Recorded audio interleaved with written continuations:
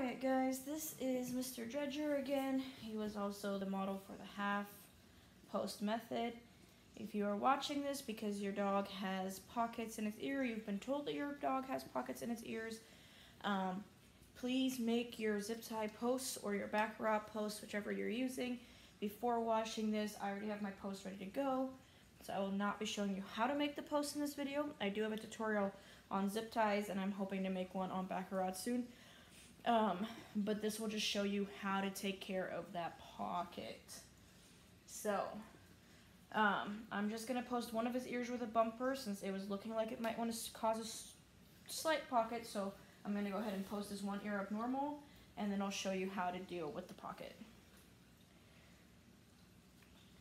If you have an ear, if you have a dog that just has one ear with a pocket, just put just put a bumper in that one ear. There's no reason to put a bumper in the other ear if it does not have a pocket.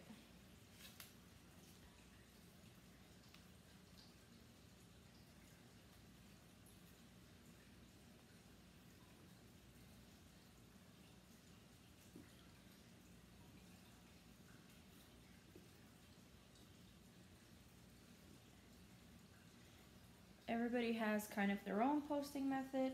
So don't be surprised if mine is a little bit different than somebody else's. Go with what you like. This is what I know. This is what I know works for me and for the people that I've helped with posting.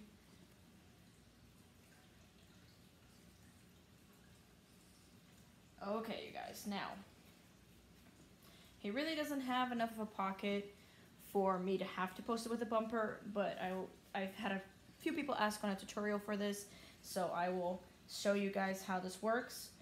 So right here, you can see his ears just wanting to lean in just a little bit right here, and that's what a pocket is.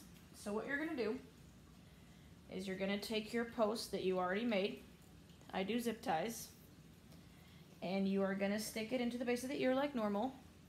Remember when you are pushing this into the ear, you wanna get it down as deep in the canal as possible.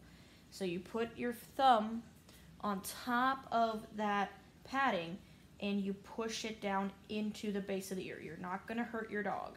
If this is your first time posting, they may whine a little bit. You're not going to hurt them. Then what you're going to do is you're going to take a cotton square. You're going to fold it into a fourth. And you are going to put it wherever that pocket is forming between the ear and the post just gonna stick it right in there. If you have to fold it again, do that, but you just want it to be right there. Then you're gonna stretch this ear up as normal, nice and tall, and stick it to the post. Fold the top over like you normally would, and you're just gonna post as you normally would. Now there's a little bumper in there pushing that ear out so that it won't create a pocket. Gonna pull up on the ear and tape around